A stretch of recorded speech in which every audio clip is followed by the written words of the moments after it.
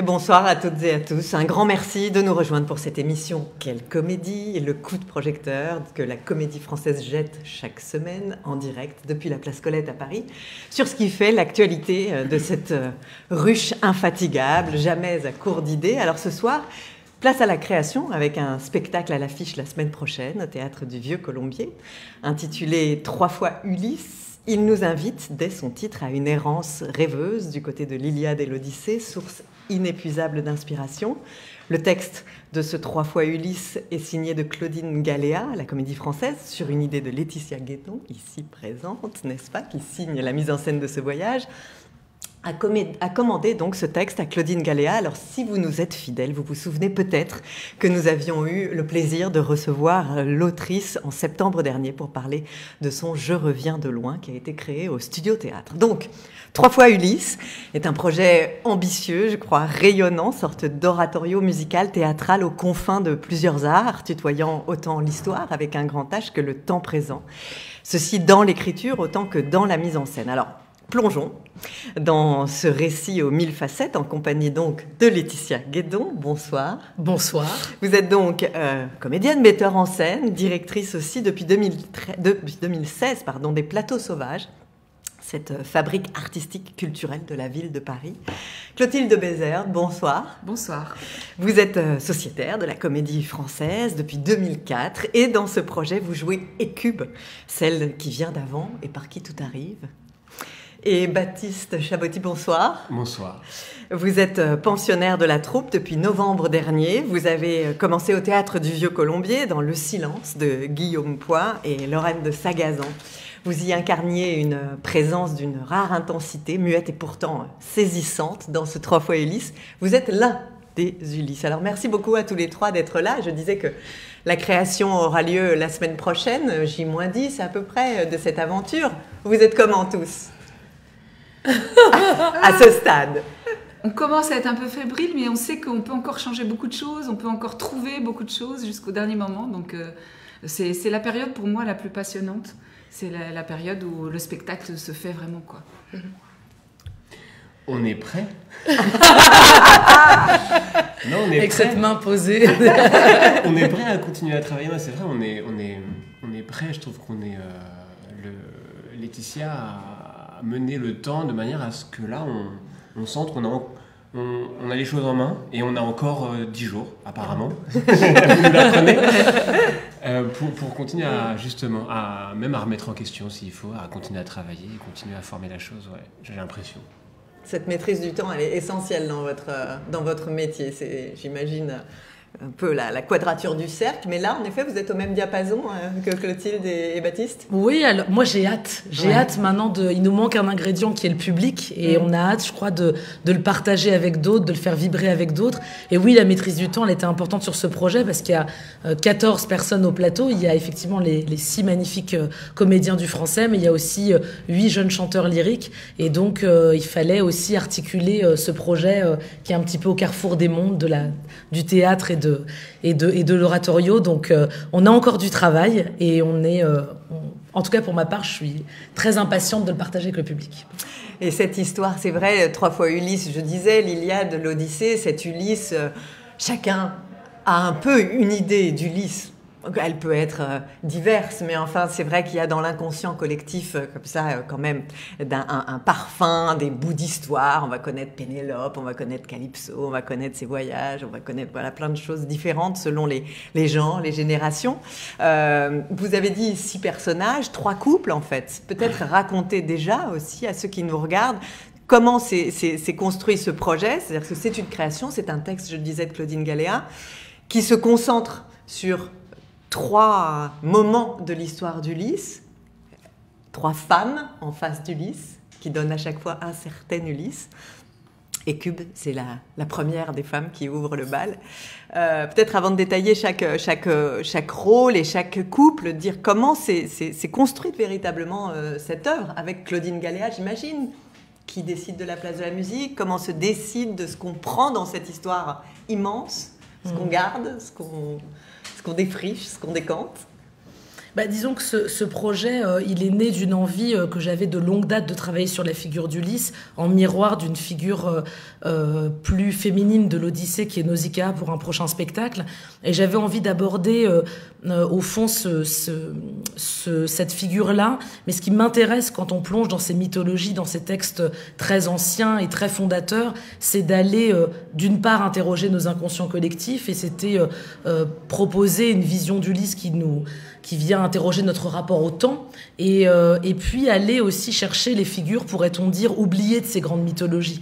Donc comme son nom l'indique, trois fois Ulysse parle d'Ulysse, mais comme le titre ne l'indique pas, il parle aussi de trois femmes euh, qui ont traversé euh, la vie d'Ulysse et dont on dit qu'elles sont des héroïnes euh, par leur rencontre avec Ulysse et dont moi je prétends qu'elles sont que Ulysse est le héros qu'il est par cette rencontre avec ces trois femmes importantes que sont Écube, Calypso et Pénélope. Donc il y avait ce désir-là de commander une écriture à une autrice qui avait à la fois une écriture très contemporaine, très incisive, très percussive, mais en même temps qui avait un grand poumon lyrique, une grande poésie, une grande poétique euh, dans sa dans sa façon de travailler. Euh, et puis la, la, la commande était celle-là de se dire que j'avais envie de traiter de ces trois couples et de du temps qui passe, du temps qui passe dans le couple, dans la relation, euh, d'apporter une vision aussi d'Ulysse, euh, comme vous l'avez dit, un peu différente, puisque quand on aborde ce cette figure-là, on est toujours euh, propulsé dans un Ulysse euh, rusé, très intelligent. Euh, je disais la dernière fois que je lisais euh, une version pour enfants de l'Odyssée à mon fils. C'est forcément un personnage qui fait rêver Ulysse. Il déjoue euh, les pièges des dieux. Et j'avais envie, nous, qu'on porte une vision un peu plus oblique sur ce personnage-là, qu'on le mette face à sa violence, sa lâcheté, son incapacité à mourir aussi et à s'inscrire dans le temps. Donc il y avait voilà cette ça et donc ces trois épisodes et puis j'avais dit voilà à Claudine que mon travail était un travail indiscipliné plus que pluridisciplinaire où il y avait une vraie porosité entre euh, le théâtre, euh, la tradition orale du théâtre, mais aussi euh, la musique, euh, le chant. Euh, et donc, on a imaginé le texte de Claudine un peu comme le livret d'un opéra dont on aurait, nous, à reconstituer la partition euh, au plateau. Mhm. Et donc, il y a euh, cette espèce de, de, de, de- maillage très fin entre des moments de pure musique, auxquels participent d'ailleurs aussi les, les comédiens, parce que vous êtes percussionniste. Et vous participez à un moment à un dies irae, euh, C'est vrai, vous savez tout. On Ouais. dévoile vraiment tout du spectacle. hein. ça, On non, n'aurait ouais, pas grand surprise. non, Non, mais c'est vrai, c'est cette musique. Vous chantez un peu Euh, je tout petit chantonne. peu.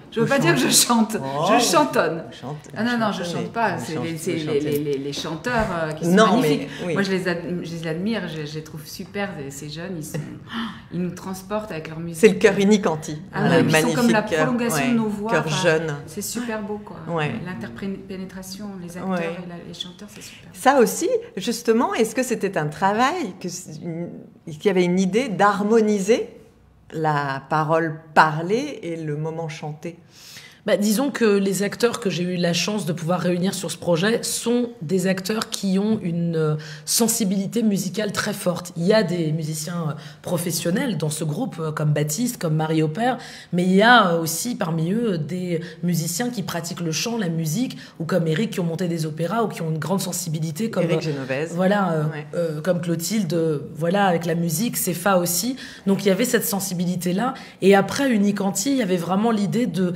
travailler aussi avec un, une, un cœur qui est jeune, donc euh, aussi cette, euh, cette, cette jeunesse qui allait interpréter pour le coup des chants très anciens. Donc c'est vrai qu'on est rentré euh, euh, dans le texte. oui, c'est vrai, par, par moments, avec une certaine rythmique, avec un certain rapport à la musique, à- au son, au silence. Euh, euh, en tout cas, j'ai l'impression qu'on l'a abordé euh, effectivement un petit peu comme ça. Un C'est génial ce chariot aussi. qui passe derrière sur le silence. C'est vraiment magnifique.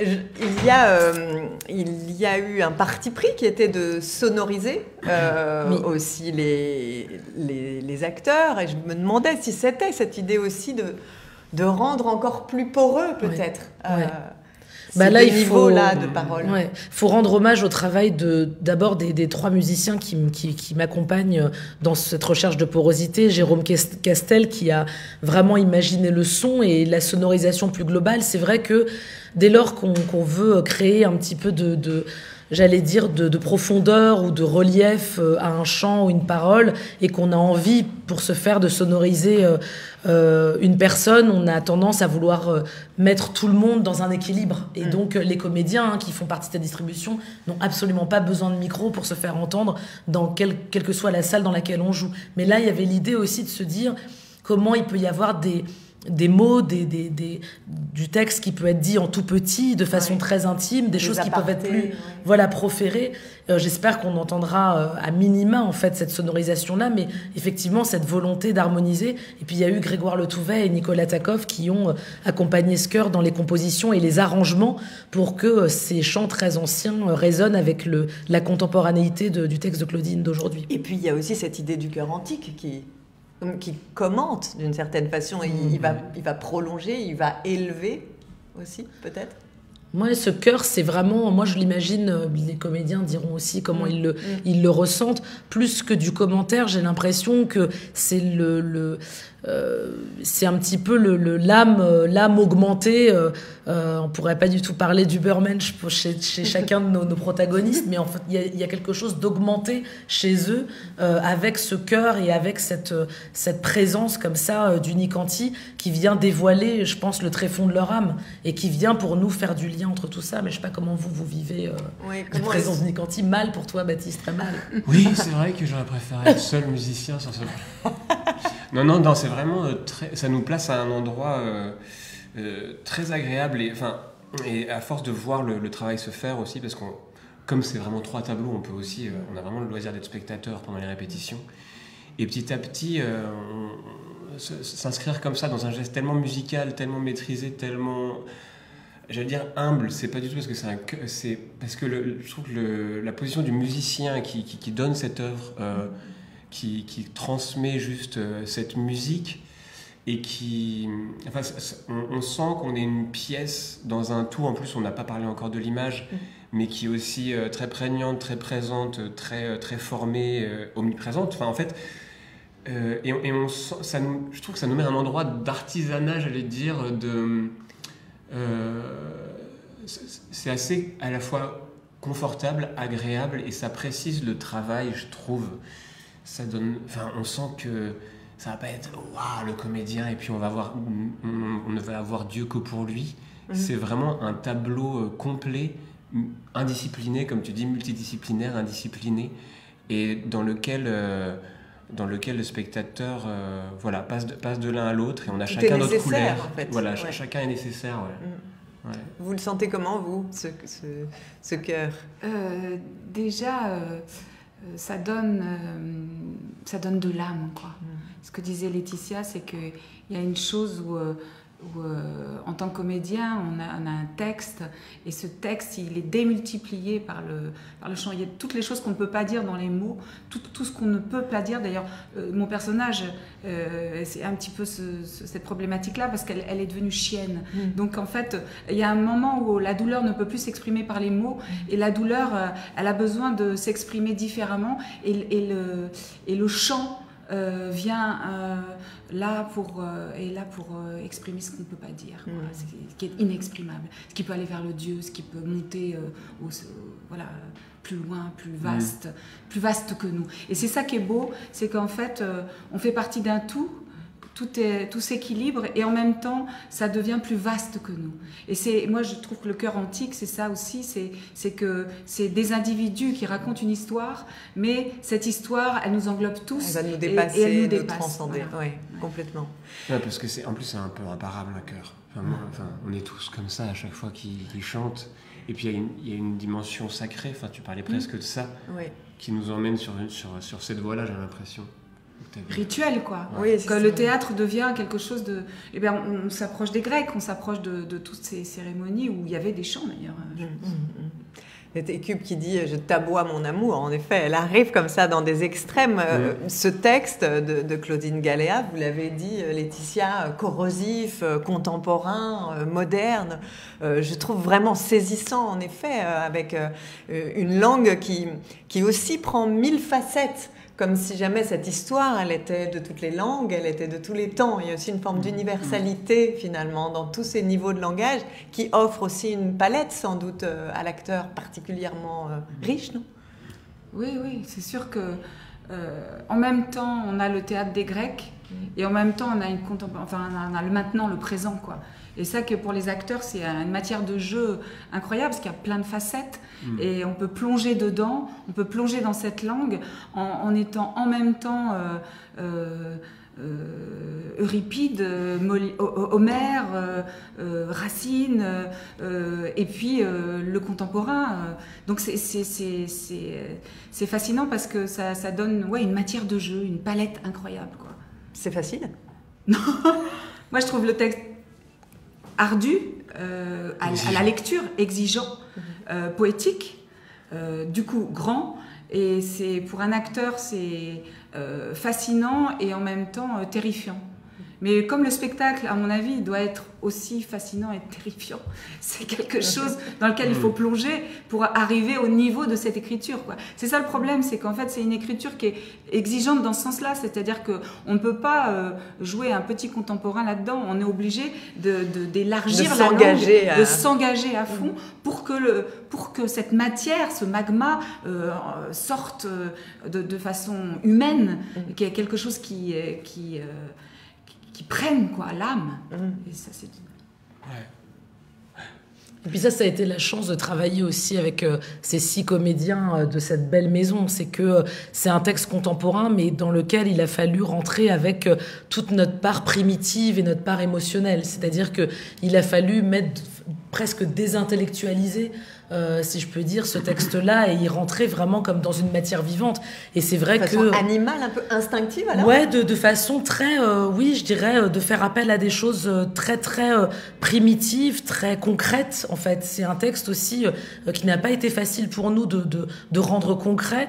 Il y a une atmosphère aussi dans le spectacle qui est, comme on disait, cet oratorio dans lequel aussi l'acteur doit résister et doit être aussi en lutte avec ce rythme global. Et c'est vrai que moi, j'ai eu la chance d'avoir des acteurs qui euh, sont des acteurs euh, très, très, d'abord très différents, parce que la, la, distribution, ce sont six acteurs qui ne se ressemblent absolument pas, qui n'ont pas du tout les mêmes, euh, comment dire, endroits de jeu, mais qui, et c'est ça qui me saisit toujours, qui ont euh, comment dire, embrassés, euh, euh, qui sont rentrés à un même endroit de, rencontre, en tout cas, qui, ont, qui se sont engouffrés dans un même terrain de jeu, avec une grande confiance. On a, c'est vrai qu'il y a eu les, acteurs ont beaucoup pleuré, ils pleurent beaucoup, et nous, on est toujours complètement saisi avec l'équipe technique de voir comment euh, ces larmes sont convoquées, convoquées, convoquées, et qu'il y a quelque chose aussi de rituel dans la répétition à,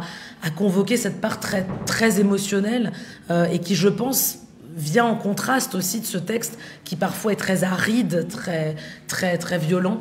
Euh, et ça, c'est assez. pour moi, c'est un émerveillement permanent de les voir au plateau travailler. C'est quelque chose que, dont je me remettrai jamais, quoi. Et, et et pleurer, ça, ça, m'interpelle aussi parce que cette Ulysse dont vous dites qu'on en a une image de héros, de, de, de puissant, euh, euh, il pleure aussi. J'ai été saisie en relisant euh, l'Iliade et l'Odyssée, et particulièrement l'Odyssée, de me rendre compte à quel point les hommes versaient des torrents de larmes. Parce que souvent, les figures féminines héroïques et Cube, hein, euh, dans les Troyennes de euh, c'est un grand chant de larmes. Andromaque est un grand chant de larmes. La figure de Cassandre est un grand chant de larmes. Mais dans l'Odyssée, les euh, héros masculins, Ulysse, Ménélas, Astyanax, enfin Astyanax, pardon, Télémaque, pleurent énormément. Ils pleurent parce que quelque chose leur manque. C'est-à-dire que on pleure aussi le vide en soi, la patrie perdue, les enfants perdus, les, les amants, les amantes, les femmes perdues. Et donc, il y a quelque chose qui, euh, euh, que je trouvais très essentiel de convoquer aussi à l'endroit de, de ces figures masculines, j'allais dire féminines, mm. mais de ces figures masculines qui sont rentrées avec beaucoup de vulnérabilité aussi dans le travail de plateau. Et que ce soit Éric Génovèse, Baptiste Chabotti ou Sefa euh, Yeboa, il y a eu vraiment chez eux une capacité aussi à à baisser les armes en fait dans, dans, dans ce projet-là qui encore une fois, vous l'avez compris, je suis totalement fan des six acteurs, mais qui encore une fois me sèche sur place à chaque répétition cette capacité à lâcher prise aussi et à nous faire part de leur, euh, de leur vulnérabilité. À chaque couple, euh, une certaine histoire, on l'a compris, un certain moment euh, d'Ulysse, euh, une écriture.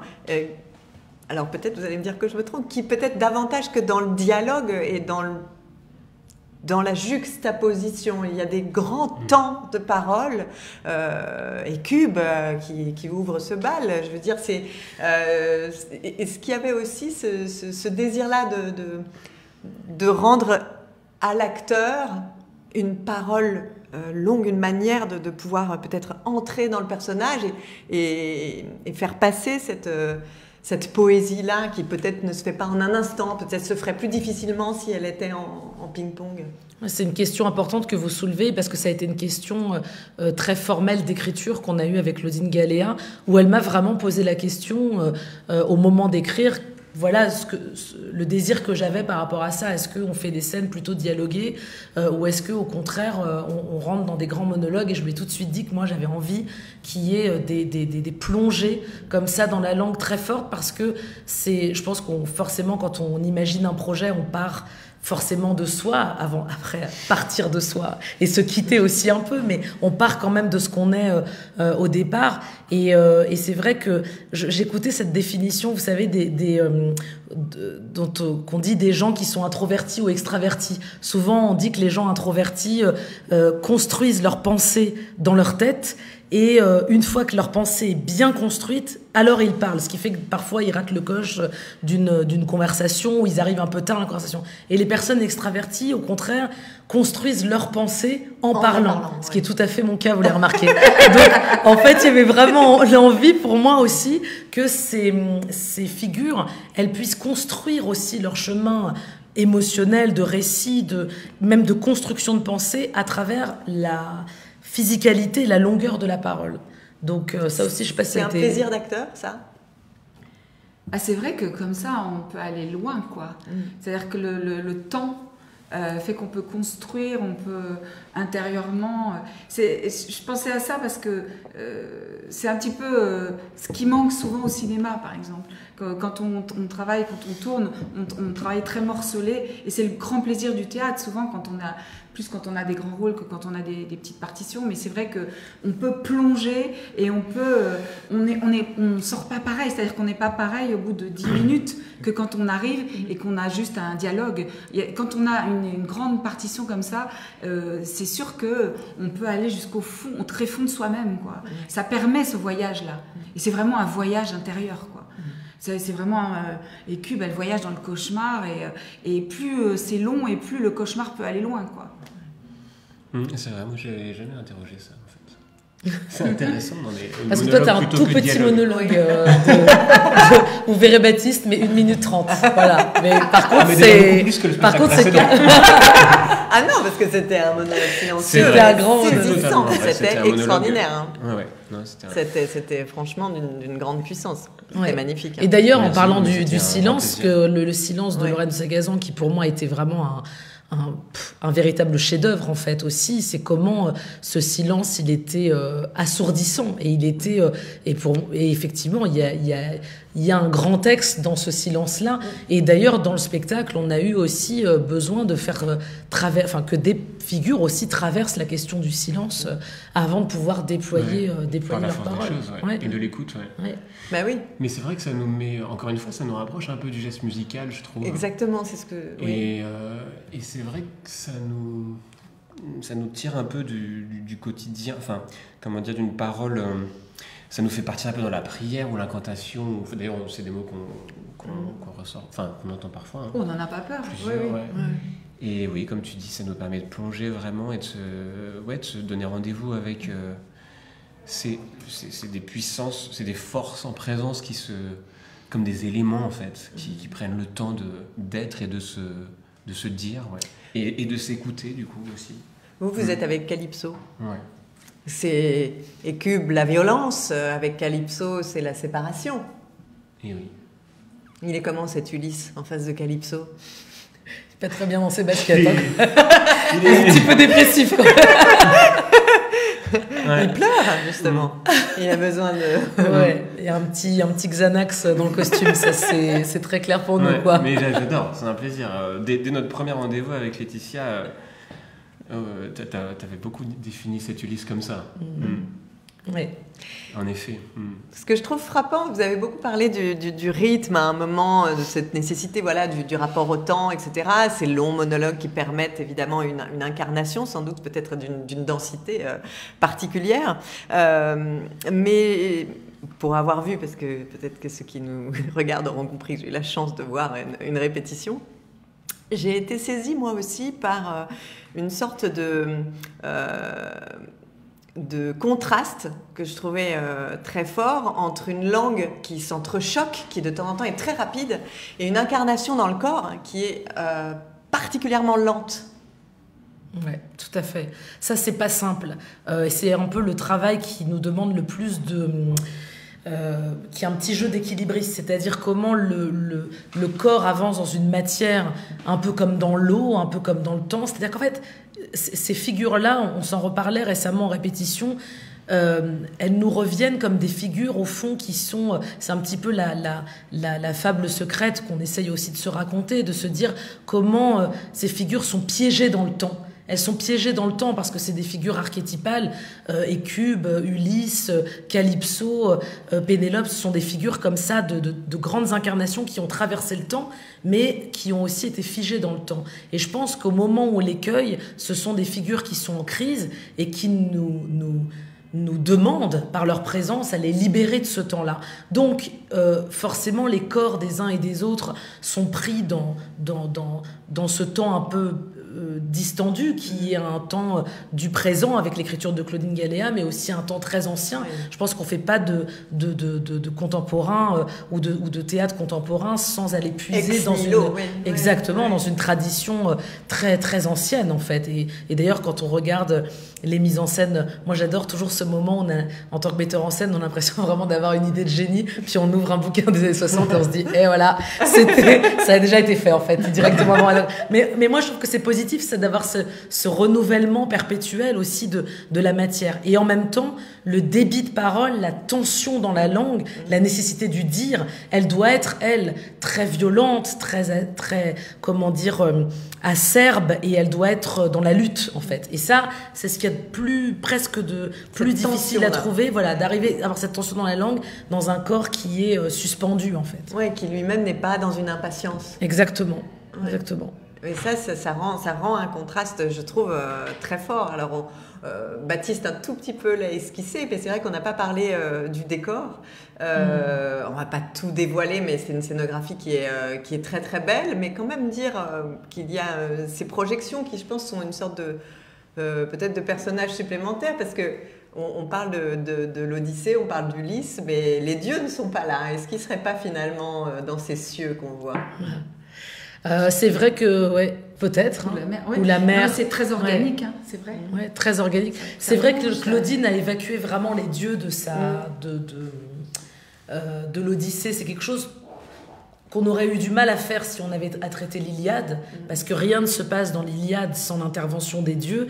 En revanche, dans l'Odyssée, euh, à part effectivement l'omniprésence d'Athéna, il y a quelque chose qui est un petit peu plus libéré au niveau de la... Nous, on a voulu euh, comment dire, se séparer des dieux pour donner, euh, redonner leur responsabilité aux hommes et aux femmes qui prennent la parole, dans le sens euh, anglo-saxon du terme, dans leur capacité à répondre de leurs actes et de, et de leur histoire. Donc c'était aussi cette façon-là, de pas se cacher derrière les dieux pour pouvoir assumer une destinée ou une, ou une projection. Mmh. Et après, dans la scénographie qui a été assurée par, par Charles Chauvet et les vidéos de Benoît Lahoz, il y a vraiment cette idée de, permettre, alors dans la scénographie, de, partir de cette euh, de ce qui symbolise le plus Ulysse, qui est ce cheval avec lequel il rentre dans Troie et qui et avec lequel il met fin à une civilisation, puisque la chute de Troie, c'est raser une civilisation, qui va en raser une autre, puisque est né finalement construire Rome après et rase à son tour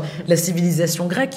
Mais euh, il y avait vraiment cette idée de partir de cette cette figure un peu totémique et de voir comment elle pouvait euh, euh, ouvrir sur des mondes. Et après, le travail de Benoît Laos, qui qui est pas là pour être un travail illustratif de vidéo. Euh, c'est pour ça que c'est quasiment un personnage. En fait. Ça fait vraiment partie. C'est vraiment une fenêtre, voilà, ouverte sur le sur sur le monde et et oui oui tout à fait sur les sur les cieux. En tout cas, sur quelque chose qui est plus grand que nous, ça oui. Mm-hmm. Je ne sais pas si ça s'appelle les dieux ou Dieu, mm-hmm. parce que chacun y prendra son, ira prendre ce qu'il veut, mm. mais en tout cas de quelque chose de plus grand que nous, oui. Mm. Et quand, euh, quand euh, on, pense à cette, euh, cette œuvre qui a été commandée donc à, Claudine Galéa, vous êtes très engagé, vous, envers ces écritures contemporaines, faire appel aux auteurs, discuter avec eux. je me demandais aussi dans quelle mesure c'était une manière de, de, de j'allais dire, de de faire que le spectacle soit euh, euh, le, plus, le plus proche de soi, enfin qu'on ait le plus de, le plus de clés, pas, pas, de le contrôler ni de le circonscrire, mais en tout cas d'avoir cette espèce de, proximité euh, mmh. particulière, de pouvoir discuter avec un auteur, de pouvoir décider de ce qu'on va, de ce qu'on va traiter ou pas traiter. C'est une c'est un angle, quoi. Une... Ouais, bah c'est vrai que les écritures contemporaines, c'est un cheval de bataille pour moi, que ce soit dans ma compagnie ou au plateau sauvage. Je pense qu'aujourd'hui, les écritures, les langues, la place du livre, de la matière écrite. Moi, j'ai un grand-père euh, euh, immigré du Maroc qui était analphabète. Autant vous dire que la place du livre a pris une place euh, écrasante, en fait, dans ma famille. Et, c'est quelque chose de très important, le rapport à l'écrit et, et, et, à ça. Et je pense qu'aujourd'hui, le théâtre a besoin des auteurs, qu'il faut défendre leur place. Ça ne veut pas du tout dire que euh, euh, il n'y a pas de place pour les écritures de plateau ou des choses qui se font plus en direct. Mais, mais je crois que l'auteur, le, précisément, moi, c'est ce qui me permet de ne pas faire des spectacles qui, qui parlent de moi. Quand je fais des spectacles indisciplinés, avec cette porosité, je crois que c'est une façon de raconter mon métissage sans dire voyez d'où je viens, voyez qui je suis, ou sans raconter euh, très précisément euh, euh, ce que je suis et dont les gens se fichent en fait. Le fait d'aller plonger aussi dans les mots d'un auteur, c'est aussi décaler une idée de départ qu'on a et de pouvoir aussi euh, la rendre. Alors c'est un, un, mot qu'on a plus de mal à utiliser aujourd'hui parce qu'il est un petit peu tordu, distordu, il fait appel à des choses qu'on essaye aussi de dépasser. Mais l'universalisme, qui est quand même voilà au fondement de notre culture européenne et c'est pas un hasard si moi je m'intéresse à ces mythes fondateurs. Moi je me sens très française, très européenne et donc forcément euh, euh, habité par ça, euh, il y a quand même quelque chose de d'aller ouvrir pour pour des inconscients collectifs, c'est-à-dire que ça nous permet d'interroger ça. Mm. Parce que sinon, si on parle juste de nous ou de exactement ce qu'on est, et je trouve que les auteurs nous permettent ça. Finalement, le théâtre, pour moi, c'est vraiment peut-être le dernier art qui nous permet de décoller du réel. Moi, je, je, je trouve qu'on est dans une société où on est collé dans nos téléphones, dans, notre façon de faire au réel en permanence. Et moi, je fais du théâtre pour en permanence décoller du réel. Et je trouve que les auteurs, ce sont les premiers agents de ce décollement. Euh, l'écriture, mais que ce soit d'ailleurs même les auteurs de répertoire, hein, euh, qui nous permettent de décoller de ça. Ouais. Vous aussi, vous voyez euh, le théâtre comme comme euh, une porte ouverte sur un monde où on peut, euh, où on peut, où on peut dépasser, où on peut rêver. Enfin, je veux dire, est-ce que, est-ce que c'est ça aussi euh, qu'apporte cette vie de, cette, cette vie de, de scène? Ce qui est sûr, c'est que par rapport à, à, ce métier, pour moi, c'est quelque chose qui, qui, qui déploie. C'est-à-dire qu'on déploie des milliers de vies, on déploie des, des humanités, on déploie et, le présent, euh, effectivement, comme dit Laetitia, il n'est là que euh, avec une personne euh, vivante en face de soi, quoi. Et, pour moi, le, j'ai fait des, des, télés, du cinéma, etc. Mais pour moi, le théâtre, ça reste quand même cet endroit-là où des êtres humains sont avec des êtres humains. C'est-à-dire qu'il y a une, une sorte d'énergie qui passe de, des uns aux autres et on explique le monde, on essaye d'expliquer le monde. Alors on n'y arrive pas toujours, mais ça, ça, ça ouvre l'espace mental des gens, ça ouvre sur d'autres personnes, ça ouvre sur d'autres univers. Et euh, Comme le cœur qui vous agrandit d'une certaine manière, ça aussi. Vous La scène quelque part nous agrandit aussi. Mm. On n'est plus euh, notre petite, dans notre petite vie avec nos petits euh, enfants, nos petits machins et tout. Mm. On est là pour porter témoignage, pour euh, c'est un endroit tu de disais, vérité. tu parlais de procès, et, je- et on est là pour témoigner à des procès aussi. C'est-à-dire de dire, voilà, je prends la parole pour vous dire ça, pour vous, euh, vous avertir de ça quelque part, et puis euh, et vous faire vivre ce que d'autres gens vivent. Et voilà, c'est- c'est un beau métier pour ça, quoi.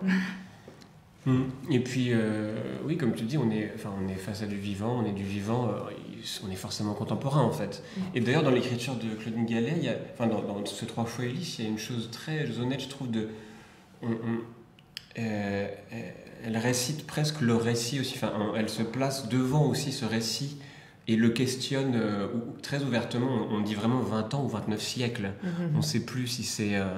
Si on est dans, dans, dans la fiction euh, légendaire d'Ulysse ou, ou si on questionne la légende aussi.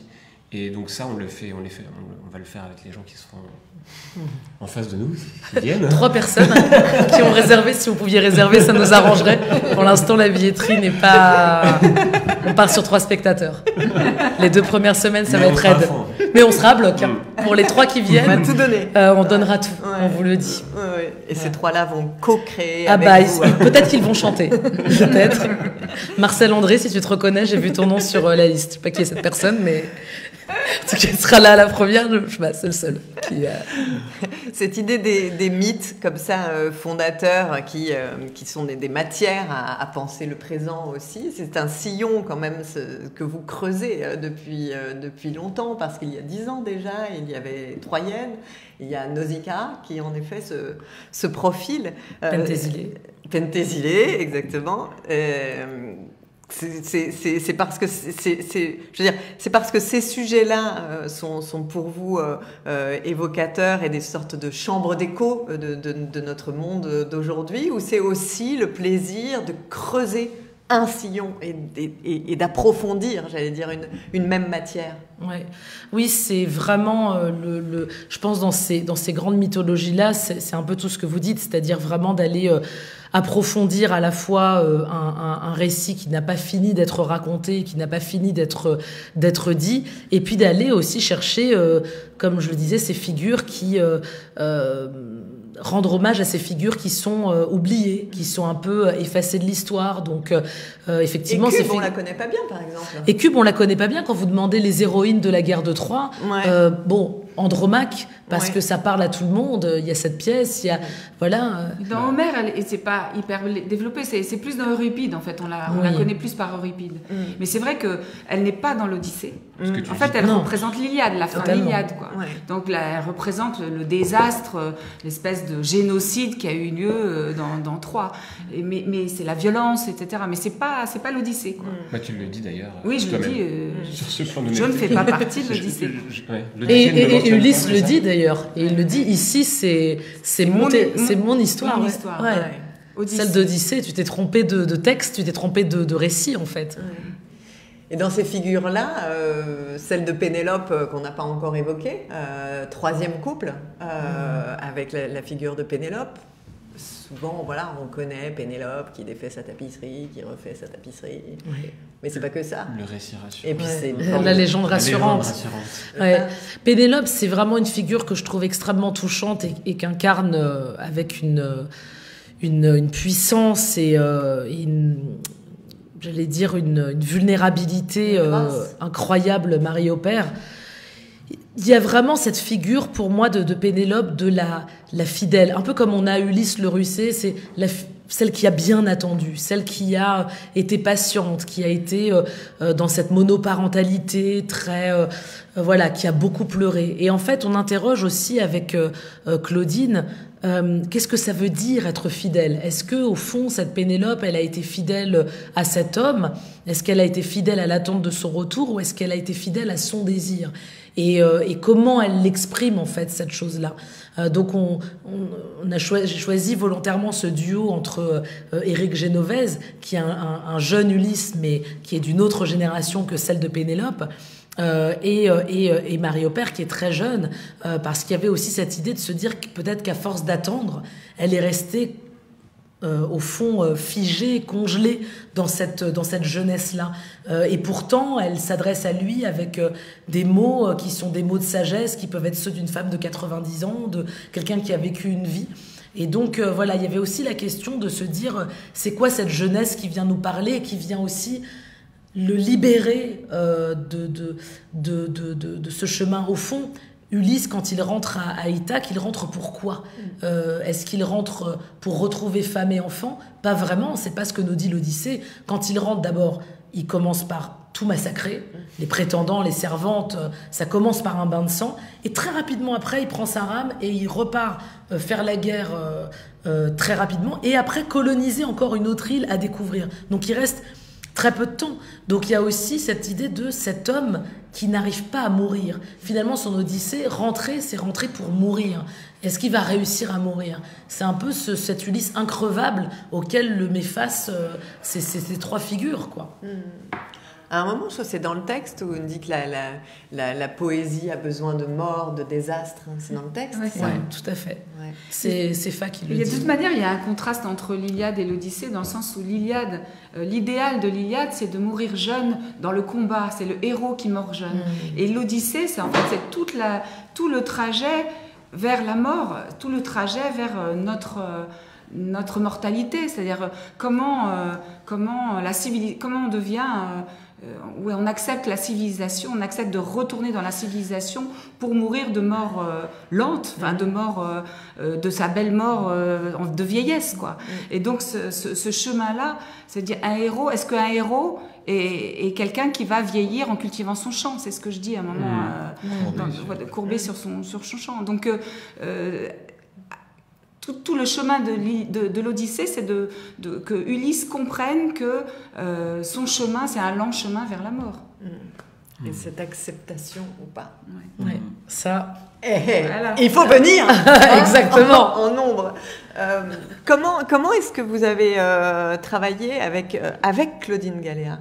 Est-ce que les acteurs, vous avez travaillé avec elles cette langue? Est-ce que pourquoi vous riez? Alors on rit parce que c'est tout parce qu'on se marre. Sur les, les, auteurs, c'est toute une relation. Bah C'est-à-dire qu'en fait, euh, il y a des avec tous les auteurs et c'est ça que j'adore dans le fait de travailler avec des auteurs contemporains, c'est que on n'a pas la même relation de travail avec tous les auteurs contemporains. Il y a des auteurs qui euh, ont euh, très envie d'être là tout le temps, aux répétitions, d'y assister, ce qu'il faut canaliser et ce qu'il faut ne pas toujours accepter parce qu'il y a d'abord le, travail de l'écriture et puis après il faut que l'auteur accepte de lâcher son écriture pour qu'elle soit interprétée par d'autres, ce qui est toujours un, de la même manière que le metteur en scène doit lâcher euh, l'idée qu'il a dans sa tête pour se mettre au service de l'écriture. C'est vraiment un travail de, de renoncement et presque, presque de deuil. Et puis, euh, il y, a des, y, a des, y a des auteurs, euh, moi j'ai travaillé Kofi Kwaoulé par exemple, qui veut surtout pas assister aux répétitions euh, et qui arrive vraiment le jour de la première, une fois qu'il a livré le texte. Claudine, on est dans quelque chose qui est un petit peu entre deux, c'est-à-dire qu'on a beaucoup échangé. Au début, on s'est beaucoup parlé. Elle et vous elle et moi. et après, elle est venue sur les premières lectures avec les, acteurs. Et après, on a ressenti le besoin, et, et, moi la première, euh, de euh, aussi pouvoir plonger dans, la, dans le matériau du travail sans euh, la présence de l'auteur. Et en ce sens, elle a été très comment dire, oui, très à l'écoute de ça et respectueuse de ça. et là, elle est venue effectivement à, un filage récemment, enfin un filage, une traversée euh, du travail, une répétition. Euh, mais voilà, il y a vraiment cette idée aussi de faire confiance euh, à ce qui se passe au plateau. Quoi. Et quand vous dites que vous échangez beaucoup, beaucoup en amont, c'est aussi sur, sur le texte.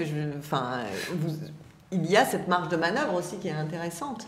Oui, alors nous, on, part du principe qu'on, quand on met en... D'ailleurs, c'est ce qu'on a vécu en répétition, quand on commence à plonger dans le texte, on, on part du principe qu'on, qu'on travaille tout le texte. Après, le plateau, c'est seul le plateau qui est maître et qui de, tout et qui nous révèle des choses. Donc le plateau, vérité du plateau. Voilà, et le plateau, il nous dit très rapidement si euh, le texte est trop long, s'il faut réduire des choses, s'il y a des choses qui sont pas claires, qui résistent, il y a des choses qui appartiennent à la tradition écrite. Ce qui est magnifique avec Claudine comme avec la majorité des auteurs avec qui j'ai travaillé, c'est qu'ils sont publiés. Donc il y a une différence entre lire l'auteur et entendre l'auteur. Il y a aussi euh, ce qu'a l'auteur dans sa tête euh, comme langue, comme écriture, comme projection, et il y a ce que sont les acteurs et, ce qu'ils en font. Donc oui, après, il y a des ajustements qui se font euh, à ce niveau-là. Moi, je me posais des, petites questions de, compréhension au tout début du travail.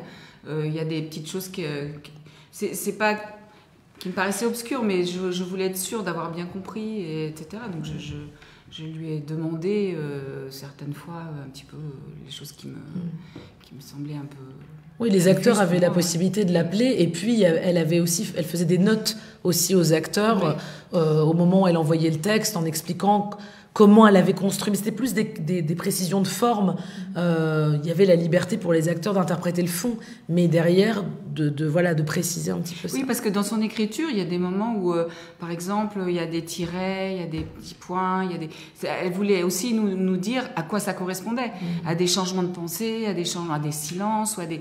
où il, y a des il y a des endroits comme ça qui sont euh, comme une partition musicale. C'est ce que j'allais dire, ouais, Ouais, ouais, quelque chose de très, de très rythmique. Et de puis, très euh, et puis un, comment dire, une pagination aussi avec des, avec des Retrait. retours à la ligne, des retraits, enfin des, des choses qu'on doit observer aussi. Donc c'est toute une écriture. Mm. Vous êtes rentré facilement dans cette écriture, vous, Baptiste? Euh, moi, euh, non. Euh, mais je rentre jamais très facilement dans les écritures, je crois que ce soit Molière ou Claudine Galère.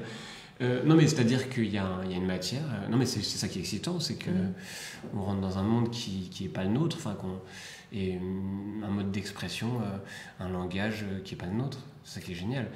Moi, je pense que j'avais jamais hum, rien, j'avais jamais fait du théâtre comme ça. J'avais jamais dit de texte de cette, enfin de cette. Ouais, j'avais jamais dit une langue comme ça. Mhm. Et j'ai beaucoup aimé. je crois qu'en plus, elle est assez différente selon les tableaux. Moi, Oui, j'ai une langue. Exactement, j'ai l'impression que la langue, les personnages, euh, c'est ouais. pas les mêmes. ouais. Ouais. Ouais. Et Ouais. personnellement, c'est- la langue, elle est assez lapidaire, assez lacunaire euh, chez moi, un peu pleine d'e- pleine d'ellipses en fait. Et c'était très intéressant du coup de. Enfin, c'était vraiment un- une invitation à, à chercher l'intériorité, la pensée derrière, derrière ces parties un peu immergées de l'iceberg en fait, qui étaient les, qui étaient les mots. Moi, j'ai un peu ressenti ça avec. euh, je suis assez peu sujet le complément. Mais après, en, en- non, c'est vrai. Mais vrai. en, en entendant le tout, je me suis rendu compte qu'il y avait des parties beaucoup plus narratives avec une syntaxe plus. C'est vrai.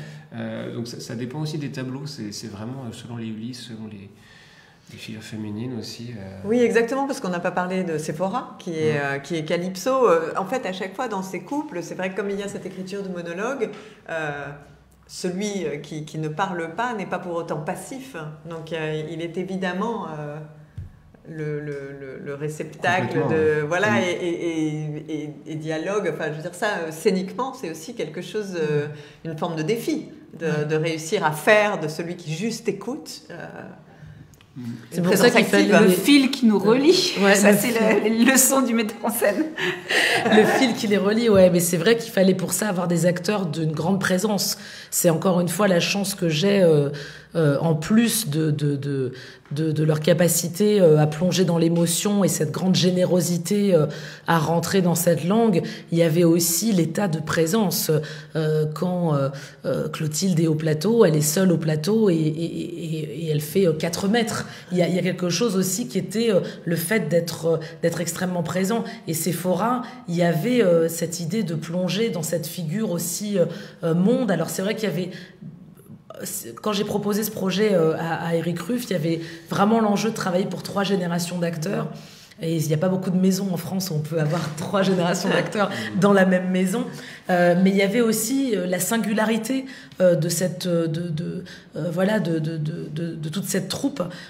Et, et, et Sephora, voilà, il y avait vraiment cette envie de travailler autour de la figure. On a, pour être tout à fait honnête, on a beaucoup hésité avec avec Claudine Galéa de travailler sur la, la figure de Circé ou de Calypso. Et puis on s'était dit qu'au fond, la figure de la magicienne, de la sorcière, c'était assez éculé. Qu'aussi, je pense qu'on projette des choses de beaucoup plus de l'ordre de la sorcière quand on a une femme noire euh, qui a une voix grave, qui a ça, alors que cette figure euh, comme ça de la de la de l'amour aussi, ouais. euh, c'était aussi quelque chose que j'avais envie moi de creuser avec cette actrice euh, particulièrement qui a un rapport comme ça à la langue, au corps, à la physicalité de la langue. C'est la première actrice que j'ai rencontrée pour ce projet-là et que j'avais déjà rencontrée pour d'autres projets avant, parce que je l'ai rencontrée pour Pentésile avant qu'elle rentre au France, enfin juste au moment où elle est rentrée au français. Et il y avait aussi voilà cette, euh, cette idée aussi de travailler sur ce duo d'ici et maintenant d'un couple qui pourrait être un couple d'aujourd'hui et de travailler sur qu'est-ce que ça veut dire le fait de se quitter, qu'est-ce que ça veut dire le fait de se séparer. Donc oui, il y a un rapport d'écoute et de fil tendu, euh, comme dit Clotilde, entre chaque figure, de la même manière que euh, c'est improbable cet écube avec ce Tulis très jeune. Bah C'était aussi cette confrontation. Bah, comme, comme Éric Genovese et Marie Aubert. Ouais, totalement. Ces espèces d'extrêmes comme ça. Totalement. Ouais, il y a beaucoup de, beaucoup de contrastes et beaucoup de relief et euh, ça va être absolument magnifique.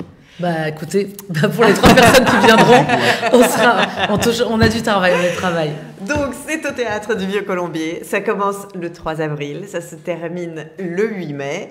Il y a euh, Éric Genovese, Clotilde de Bézère qui est là, Sephora Pondy, Marie Aubert, Sefa Yeboa et Baptiste Chabotti, mise en scène donc par Laetitia Guédon. Euh, projet magnifique à découvrir donc dès la semaine prochaine. Un grand merci à tous les trois d'avoir donné corps à cette poésie euh, qui nous attend. Et merci beaucoup évidemment à Andrea Vilchange et Zélie d'Allemagne pour la réalisation de cette émission. Rendez-vous lundi prochain avec Béline en direct dès 19h.